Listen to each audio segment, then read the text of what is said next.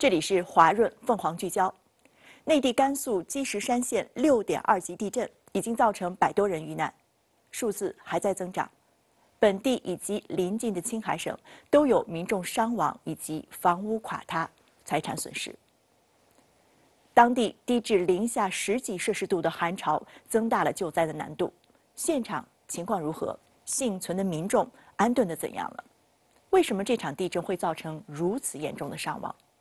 凤凰聚焦摄制组带您深入地震灾区中心地带。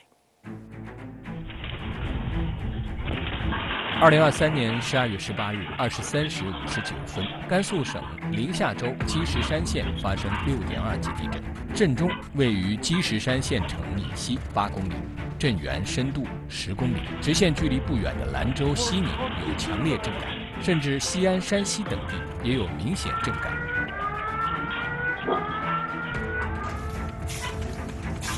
真的我也是得，后头那会还心里面还没下来当时。当时怕那一关，整个一就就停不下来，那个门那些东西都堵住了喂。我门堵住了，我只能就跳上去了，扑上过去了，去了。然后我们隔壁的一个这邻居出来了，他里面挂的穿衫裤扑上出来，那个手上一块碰上的。像我们这里发发生的话，什么这么严重都没有，随便就震了一下。截至目前，地震已造成甘肃、青海上百人死亡，数百人受伤。这个六级的破坏强度实际上就是我们认为是强震，那么七级以上是大震。那么它这个破坏的程度和我们震源的深度有直接的关系，然后和它的地震的类型，就是断层活动的类型都有关系。它是在深夜，就是基本上是零点，基本上大家都休息了。那么休息甚至。已经进入梦乡了。那么来地震，那么六七秒钟到十几秒钟，他可能刚刚摇醒，还没反应呢。如果房子倒塌下来，要么重伤，要么就死亡了。所以呢，这就已是一个时间上面，那么对我们避难、逃生不利的一个一个时间段。本次地震虽然发生在甘肃省。但震源所在的积石山县西与青海省循化县毗邻，北与青海省民和县相望，因此在青海省也产生了人员伤亡和地震破坏。它基本上发生在这个青海跟甘肃交界的，就五六公里的地方。最严重的破坏是在十公里到二十公里范围里面。那么断层上面最最破坏最严重的了。那么十到二十公里，它实际上已经跨到那边去。它实际上是触发了地震震动，触发了一个一个特殊的一个一个地灾。由于地震发生在深夜，绝大多数人都已经入睡，无法躲避。伤亡的主要是地震导致山体滑坡、建筑物垮塌和装饰物家具掉落等原因。它实际上还是个黄土覆盖的一个山区，那么黄土本身稳定性很低的，它很容易。在震动条件下，滑坡崩塌。那么我们可以看到那个震区，那个好多道路也好，旁边的房屋旁边的那些那些松散的黄土，到处都会塌，把路都埋住了。第二个呢，有些房屋呢，基本上建立在有一定的坡度的地方，那么地震震动条件下，那么容易引起倒塌。第三个原因呢，它是在一个盆地里面，地震的时候由于震动。造成了我们可以看到大量的水，地下水喷出来，那么造成了一些房屋地基失稳，有些倒塌了。更大的原因，这个地方是贫困区，那么好多老旧房屋，它的抗震性能很低，地震一震动，它就倒塌了。地震发生后，解放军和武警部队以及消防部门出动多支救援力量抵达地震灾区展开救援。民间多股援助力量也在灾区展开救援。也就是在地震发生四小时后，甘肃蓝天救援队首批救援人员三十五人抵达震中大河家镇救援现场，分四组开展救援工作。甘肃蓝天救援队副队长陆昭旭表示，当时映入眼帘的景象让他有些吃惊，到处都是坍塌。凌晨发生这个地震的时候呢，大多数人都已经入眠了。这个地震之后呢，大家从家里面跑出来，有些房子呢，房屋的这个受损呀，没有办法在那个包括坍塌呀这些，他们其实很多人出来穿的衣服呀，这都比较单薄。所以我们到了现场之后，我们看到的有很多群众啊，这些就是没有这个厚一点的这个能御寒的这个衣物。然后我们有时就是路过这个沿途的这个老人呀、孩子，我们接到我们的车上，把他们转移到这个相对比较安全和这个保暖的一些场所去。砖混结构的这种房屋都是有啊比较大的裂缝啊，那么也是能感觉到这一次就这一次的这个地震啊，对于啊这个现场的影响啊，对于震中附近的影响也是非常大的。在队伍到达灾区后，救援人员看到有多股救援力量在进行救援和多轮次排查，而当地的应急部门和消防部门已经把大部分的人抢救了出来。那我们当时呢到达现场之后呢，呃，是看到啊消防就是当地的消防啊，因为它距离也比较近啊，启动速度也比较快，到达了现场，他们已经在开始做这个啊这个挖掘的工作，呃，那么。呃，整个的这个啊救援现场呢，人也是比较多的，除了这个消防的力量，还有当地的一些啊这个呃干部，当地的一些群众啊，就立马投入到了自救和互救的这个过程当中啊，在这个过程当中呢，啊也挖掘出来啊这个大量的这个遇难者和幸存者。我们这个主要开展的工作呢，一个呢是人员的搜索搜救，二一个呢就是我们随队的医疗队呢，那个对这个受伤的群众呢，简单的进行这个医疗处置，然后把他们转运到这个卫生院，啊，这进行一个这个工作。由于村子里有部分房屋倒塌，害怕后续余震，村民都在村中的广场聚集等待救援。有一部分呢是在啊这个。村上面广场来进行这个呃等待，那么还有一部分可能就在自己的啊这个房屋旁边、马路旁边啊来等待，因为当时发生地震之后呢，这个呃时间非常短，也没有啊这个说很很好的能去搭建这种啊安置点啊，所以呢这个很多的居民呢也没有地方去，所以他只能在马路旁边啊这个看着啊救援队员或者看着消防员来进行这个。啊，搜搜索和救援的工作啊，同时在在这个原地呢来生一堆火来取暖。余震还是一直会伴随的，但是逐步的这个余震的这个震级啊，各方面根据中国国家地震震台网中心的这个测得的这个官方数据来说，这余震的这个都在逐步的也在这个下降。我们在现场所感受到的这个余震的力度呢，也是逐步的在减小。蓝天救援队进入现场后，总共救助了六名群众。而其中一位老人在救治过程中抢救无效死亡，其他伤者根据伤情的轻重情况被送往不同的医院进行救治。我们刚到这个路口，啊，有一位这个啊被挖掘出来的这个幸存者，啊，他需要转运，正好我们的救护车呢也到达了这个点，那我们这个转运的其他五名呢都是轻伤，我们来帮他啊做了一个简单的处理，啊，做了一个简单的陪伴。那么在这个过程当中呢，我们也能感受得到，啊，就是他们对这个地震，啊，尤其在晚上十二点这么一个时间段发生的，啊，内心的一种恐惧。本次救灾的难度首先在于天气寒冷，由于灾区属于海拔在一千七百米以上的高海拔地区，当地温度在零下十四摄氏度左右，搜救人员的行车安全和装备选择都受到寒冷高海拔限制。需要使用合适的保暖装备，但厚重的装备同时也会降低救援的效率。在低温环境下，啊，尤其在晚上能啊，这个零下十几度，啊，呃，对于这个被埋压在下面的人来讲，啊，这个极度的低温，啊，可能会导致他身体这个热量迅速的去流失。那对于救援队员来讲，啊，因为呢不可能穿着大棉衣，不可能穿着非常厚的衣服。啊，去参与这个救援的工作。那么这种情况下，那么就极有可能呢，在短时间之内呢，操作一会儿，那你的手就冻僵了，就影响你的这个救援的这个速度、救援的效率。在前期的这个救援和搜索的这个过程当中呢，是会受到一些气温的影响。我们到达的当天的凌晨，气温是非常，确实是非常的低。然后救援人员呢，穿着的衣服呢，也就比较厚，速度会可能相对会慢一些。人的这个体力消耗，因为由由于寒冷会那个，呃，大家保持的这个精神度这各方面还是呃很好的。地震普遍的黄金救援时间是七十二小时，但也正是由于本次震区特殊的低温天气，被困的幸存人员可能会因寒冷而耐受降低，需要第一时间全力搜救被困人员，以减少寒冷湿温带来的伤亡。也因此，七十二小时的时间将大大缩短。黄金七十二小时是正常条件下，气温没有这么严寒的条件下，黄金七十二小时就是人的生命能够维持七十二小时是吧？救出来的话，经过经过治理、治疗，能够挽救生命的一个一个黄金时段。但是严寒天气，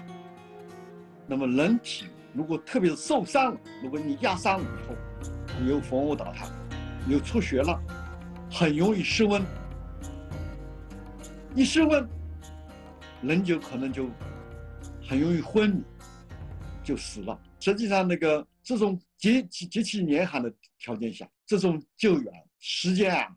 要大大的缩短，七十二小时可能就变成二十四小时。我们界定的黄金七十二小时呢，其实更多的是城市建筑物坍塌当中，那么农村的这种啊这个掩埋式的这样的一个结果，其实呢。更多的是啊，比例更高的是窒息死，短时间之内啊就会造造成这窒息死。所以呢，其实农村的这种建筑结构呢，就是已经把七十二小时时间缩短。那么再加上它的这个低温啊，尤其可能很多人连衣服都没有穿啊，一地震之后，一一两分钟之后，啊可能就倒塌就会埋到下面，连这个穿衣服的时间都没有。那么这样的话啊，再加上地震的。条件，他的这个啊，这个身体的流失就更快，所以呢，这种情况呢，就又啊，这个缩短了这个黄金救援的时间。由于地震导致多处房屋倒塌，再加上余震不断、气候恶劣，灾民的紧急安置问题成为当地急需解决的问题。在当地政府的协调下，蓝天救援队迅速在安全区域搭建起一百顶帐篷，保障了灾民的基本生活。呃，作为我们社会救援力量。自民间救援队来说，我们在第二阶段的主要工作呢，一个呢也是帮助这个当地的村民呢，这个搭建一些他们的这个呃安置帐篷，然后帮助村民呢，这个在这个帐篷里面这铺这些生活用品，比如说是床、被褥，啊，是我们这个安装一些这个煤炉，然后呢，再有一个像我们陆续我们蓝天救援队筹措的一些物资，然后接收到到位接收之后呢，分发给这个这个受灾的群众。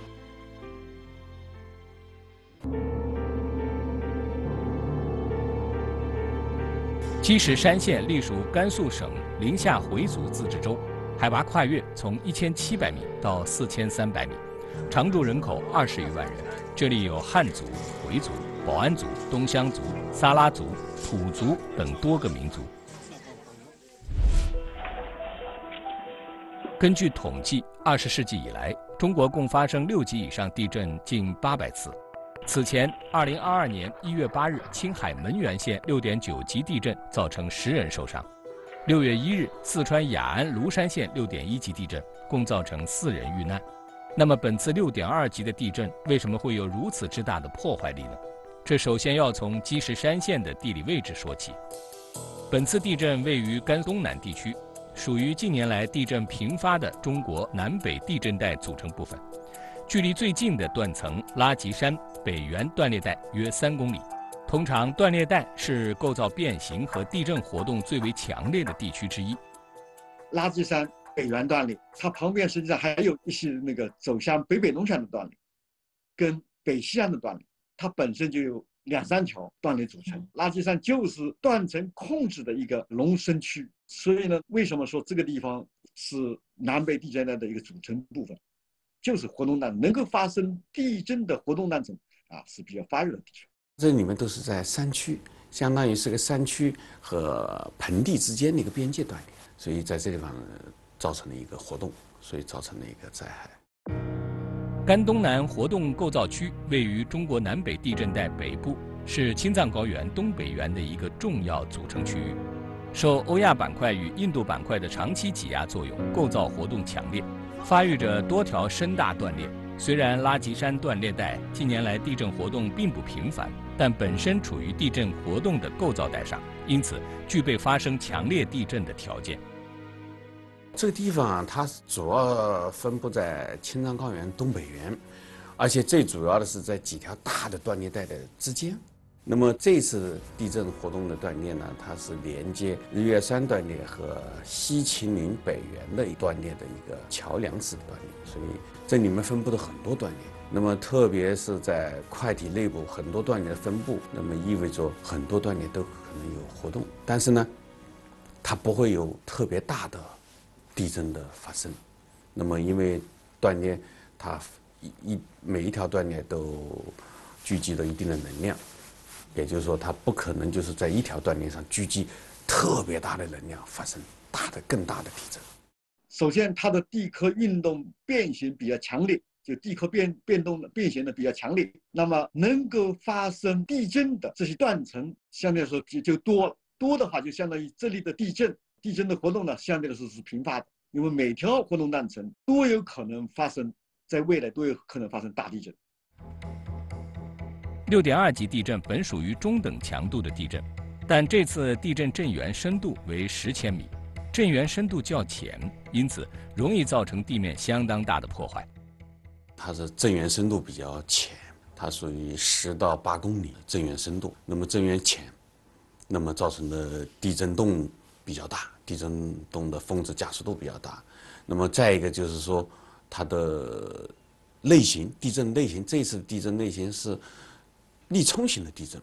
是以垂直运动为主的，不像以前的地震都是水平运动，它是垂直运动的类型的地震，所以造成的破坏更大。青藏高原的地震大部分都在十五公里以前，所以都是很浅的地震。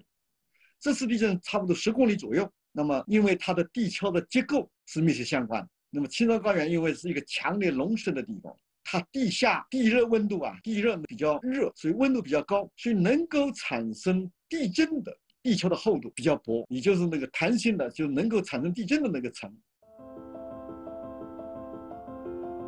房屋抗震能力相对较低，也是本次地震造成较大损失的原因之一。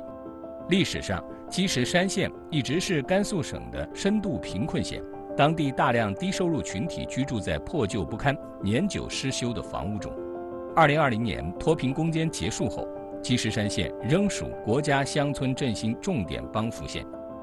近年来，当地政府一直把民众危房改造作为重点工作之一，但是在这一过程中，一些老旧农村土墙自建房却由于历史遗留问题等种种原因，依旧在被使用。从目前我们看到的那个房屋倒塌的情况来看的话，那么基本上就是一种砖瓦结构的那个房子。那么这是砖瓦那个房子呢，它基本上没有好多没有像比较发达的地区有有圈梁、有木框架结构，所以呢，它容易一震动以后呢，容易倒塌。特别是农村的农牧民的那些房屋、老房屋，那么也是那个自建房，大部分都是自建房，所以呢，他他不去考虑它的抗震性能。是不是需要加圈梁来提高它的那种抗震的性能，提高房屋的质量是没有的。房屋的抗震能力是我们预防这个灾害、减少灾害的一个重要的一个方面。那么，因为现在还无法预报地震，还达不到预报地震，那么我们减少灾害的能力呢，只能靠我们加强一些房屋建设抗震能力，再一个远离地震带。地震前，有网友拍摄的视频显示，当地街道聚集了大量乌鸦等鸟类，引起了广泛关注。这些画面被一些人解读为预警地震的前兆或地震异象。虽然动物的异常行为常被认为与地震之间可能存在某种联系，但目前相关专家尚未发现它们之间的科学依据。那如果是要这样说的话，那好多乌鸦要过夜的地方都有地震吗？我不认同这些乌鸦聚集跟地震有关，跟这次地震有关，因为我们要说话，像我们我做做基础研究的，跟地震有关的，我们要说话要有依据。没有很大的科学依据，因为有的时候动物之间，动物那个有异常的反应，呃，有的时候会有。但是你不能说有异常反应就一定会地震，这个没有必然的联系，所以这个还不好说，这个不能作为依据。五、四、三、二、一。在本次甘肃地震发生后，周边很多城市与地区的民众都收到了手机推送的地震预警信息。地震了！目前地震预警可以做到提前十几秒甚至几十秒，但地震预警并不是地震预报。收到预警信息表明地震已经发生，在地震波尚未到达的区域发出的避险警报，从而为周边区域的群众争取紧急处置、避难逃生时间。那么这种预警实际上地震发生以后，它的地震波什么时候到达这个手机的地点？首先是要地震已经发生了。这个地震波到你这个地点的需要的时间是一分钟、两分钟，距离越远，那么它需要的时间就越长。实际上就反映出在集中区，在未来地震要发生的时候，造成最严重破坏的地区、最严重的破坏的震中集中区是盲区，没有时间来预警。精确的地震预测一直是世界性难题，受到地球内部构造运动的复杂性和观测手段的局限性影响。目前，在世界上关于地震的国际性组织以及各个国家对于地震短期预测的可预知性以及准确率依旧有待提升。我们一般地震的预测有叫做长期、中长期预测，那么有可能就是说多几十年或者上百年或者未来这么长的一个那个，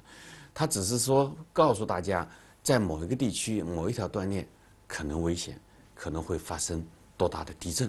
但是呢，短期多少年、哪一年、哪一个月、哪一天，这个属于预报了。预报是要求，呃，大小、震级的大小、地点和时间三要素。但是目前呢，从全球来看，目前国际上还都达不到预测。那目前来看，这种短龄预报很难，所以国际上面说，地震不可预报，有好多大卡是吧？说地震不可预报，还有一帮大卡说，地震不能预报吗？实际上就是说，他是说可以预报的，但是呢，国内外到目前为止，我们还没有真正能够有效的来进行地震的短临预报。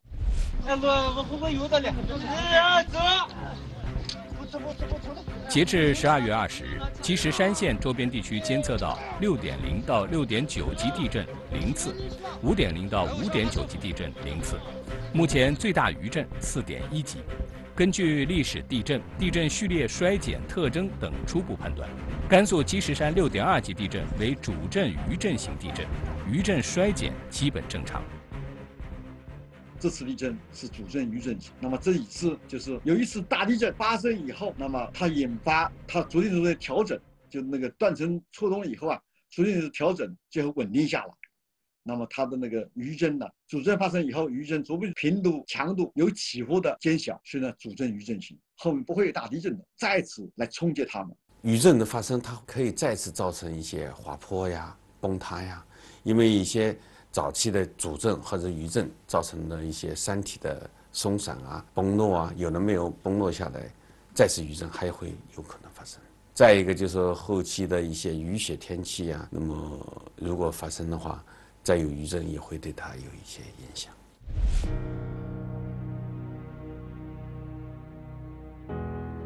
截至目前，甘肃地震救援工作已基本结束，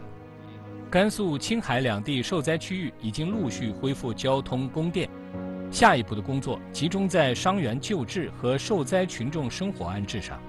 社会各界的救援物资以及捐款已经开始源源不断的输送到震区。根据甘肃省地震局公布的消息，多家机构综合分析认为，震区这几天仍然存在发生五级余震的可能，这属于强余震，民众和救援力量都需要做好防护应对。就在积石山地震第二天的上午，新疆也发生了五点五级地震，而远在欧洲的冰岛，则是在连续地震之后，与积石山地震同一天开始经历火山大爆发。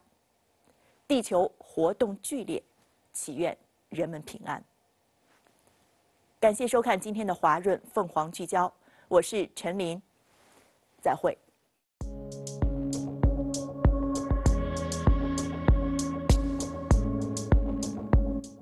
接着为您播出《中国太平凤凰全球连线》。